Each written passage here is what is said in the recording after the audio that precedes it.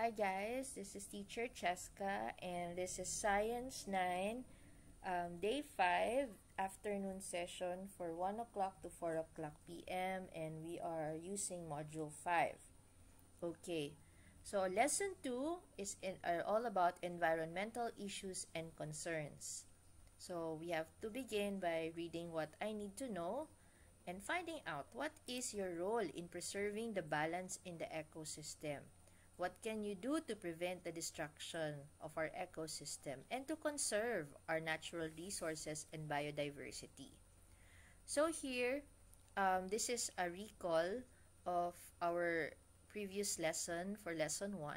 We find out that in an ecosystem, biotic and abiotic factors are interdependent with one another. Kung mawala ang isa, apektado ang isa. Okay? So, then we let's continue to what's new. So, daghan na changes, no? So, we will find out that daghan kaayo changes around us, no? So, your activity number one is entitled My Home, My Community, My Environment.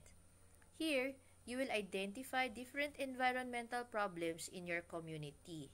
Sa mga problema sa inyong komunidad, sa environment. And unsay uh, effects, unsay resulta ana ng mga problema. So, what you will do is you copy this table and you put a check mark, no? under the yes and no statement kung asa dinhi ang makita sa imong komunidad. So, for example, burning of garbage is present everywhere. Nabay galapog, permi. If it the answer is yes, you put a check mark here. If the answer is no, put a check mark there. Okay? So, those are there are 15 statements, so yes and no lang na siya. And then in number 2, based on the evaluation, no, tanaw nimo sa imo mga gi-check, uh, list down at least three environmental problems in your community and unsay epekto ani na mga problema sa ecosystem. What are the effects, no, of these problems on the ecosystem? Okay. Then let's continue to what is it? So here, we find out about different environmental issues and concerns. So, ecological balance happens when there is a disturbance which is either natural or man-made that disrupts the balance of an ecosystem. So, mahitabo, ang tawag din ana, ecological imbalance. So, unsa may mga butang na makadisturbo sa ecosystem. So, here are some examples. You have pollution, of course. This is very familiar to you. Pirmi na nato ni siya ma no, masturyahan and you can see this no around you. Makita ni mo ni. So, you have pollution like air pollution and some of the effects of air pollution is acid rain. Air pollution, by the way, is can be both man-made and natural activities. So, for example, man-made ang mga factories, burning of plastics. Natural activities, for example, na volcanic ashes, so pagbuto sa sa kabulkan. Okay? So, those can become air pollutants. Also, aside from air pollution, you have water pollution, di ba? So, water pollution is because of different um, domestic and industrial wastes. So, gikan sa atong mga balay, apil po sa mga factories. So, once mapollute na ang water, it is no longer safe for drinking or swimming. And this will affect, no? Affect the animals living in the nearby um, areas. So, when this happens, This is called eutrophication when it affects the aquatic animals. So, water quality and clar clarity will be affected. Tawag ana, eutrophication. Deforestation, of course, this happens when forests are cleared to make the land available for other purposes. Karon dinhi sa atong area sa Cagayan de Oro, kita nato daghan na kay ba o mga subdivisions. Pero wala lang ta kabalo sa una, forest na siya. Then they had to clear it. They had to remove all the trees there.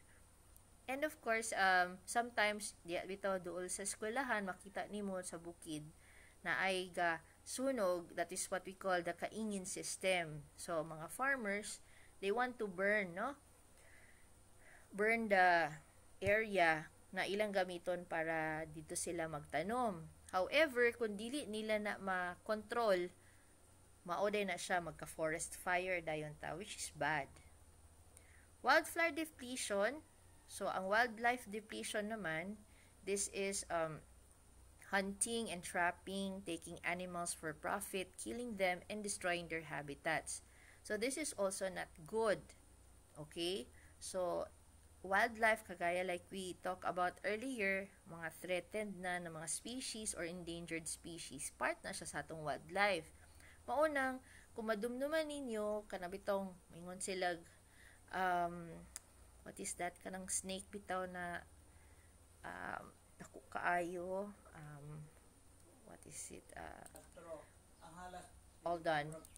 Alright sorry about that. So um, kadumdum ko na naagi ka na mga duol man ta sa ano 'di ba? Duol man ta sa creek duol punta sa um, kagubatan here in Penroa natay mga halas or bitin. Yung murag anaconda bitaw. Okay, actually, um, the Department of Environment and Natural Resources have already said that those are wildlife creatures na dili dapat dakpon, no? Kung mabuan bitaw na nagdak nagdakop ka or imo nang gikeep sa cage kay um, you will be fined, no? Um, dakpon pud ka sa DNR and then magbayad ka dako na kwarta. Because those animals are part of our wildlife. So dili na to siya pwede hilabtan you cannot sell them no? Apil ng tuko mantingali i think no? Apil ang tuko murag dili siya allowed na dakpon og i-keep as a pet. Bayawak. or ayun oh, bayawak. Hindi pwede. Okay. So those are the things. And besides in in relation to ano uh, wildlife mo pud na siya actually the one good lugar. The the theory that they say gikan sa China was because of the bats nagidakop no? Diba? Yung mga paniki nagidakop and then they sell them in the market and so the coronavirus happened. So it's like that.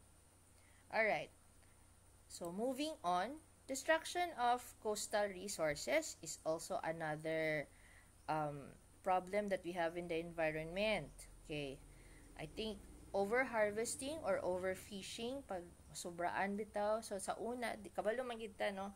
Kung mag kung mag mangingisda tayo kailangan yung maliliit na isda yung mga baby pa na fish ibalik nato siya sa ocean. Okay kagmay pa man sila padakuon sa ipadaghan sa ana. Pero still because nga of the demand no? Um daghan gadagan ng populasyon sa tao daghan nga pangitag pagkaon So, bahala gagmay pa kay ato na nang gai-harvest or gai-overfish. So, which is not good. And the different methods, which are illegal already by now, are dynamite fishing, cyanide fishing, and muroami fishing. So, those are already illegal. Okay, let's continue. Then you have to do activity number two. So, what's more?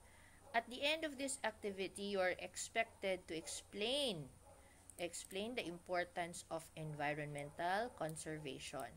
And you shall do so by um, imagining yourself. So, i-imagine mo na ikaw ang mayor sa isa ka syudad o na mga questions dani na imong answeran. So, again, 3 to 5 sentences or 1 to 3 sentences, okay ra kayo. So, you read this first, and then you answer the following questions. After doing that, uh, in here, by the way, you don't need to copy this, no? You can just answer directly. So, just go answer here, letter A. Okay. So, don't, ayaw na ikopya ang story or ang situation here sa inyong yellow pad paper answer na lang directly. Now, after doing that, go to activity 3 Let's factor it out. Um, at the end of this activity, you are expected to identify the factors disrupting ecological balance and provide solutions. Okay.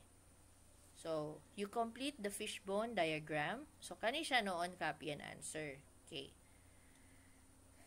And the factors are found inside the box. Pero part of it, ilan na ninggi ansiran. So, ikaw na lang na mag-fill up, ani. Okay? So, kayang-kaya yan. Provide at least one solution for each problem. Okay. One solution, write it down. So, and then answer the guide questions. Pagka man ani, you go directly to summary. You read the summary. Basahon tanan. Very important. And then you answer your post-test. Okay? So again, 1 to 15, capital letters only, answers only or answer directly. So that's it for the afternoon session of day 5 in Science 9. We're using module 5. Thank you so much and bye!